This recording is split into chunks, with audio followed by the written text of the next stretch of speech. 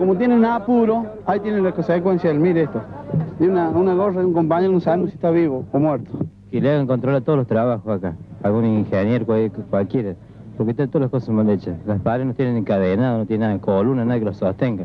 Son nueve metros de altura, no tienen nada. ¿Ustedes plantearon alguna vez esto a, la- a los ingenieros? mismos compañeros les decía, pero hay que acá, o si el capataz los manda a trabajo, uno tiene que hacer lo que ellos mandan.